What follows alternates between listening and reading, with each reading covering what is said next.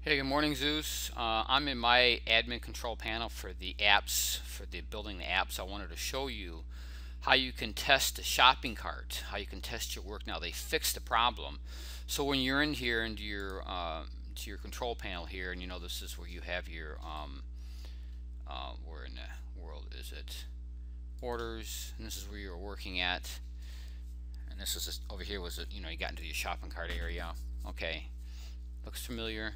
Okay, well, over here on the right hand side you click this little bar. It takes a minute to load up and now you can see the picture of the app.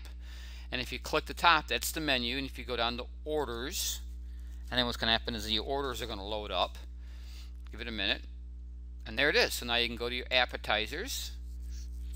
And you can see, okay, let's click on this one. And it goes, allow.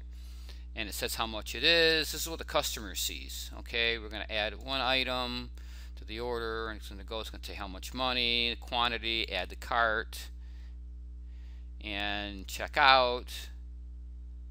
And you can actually see here where it talks about you know um, um, the, the, price of the product there's no convenience fee there's Michigan sales tax total charge and this is where the customer can put their information. So this is the part here that we want to make sure matches you know um, the order. So let's go to um, another one here.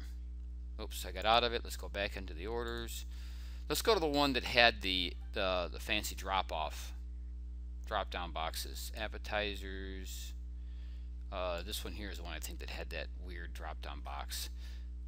See now it talks about 650 and you can add beef for two dollars. They click that. And they can add chicken. They can actually add both if they want to. Okay? So and then it would add the cart and it's 650 add beef two dollars a chicken two dollars add the cart checkout let's see if it added up right. See here it is 652 and 2 makes sense? Okay thank you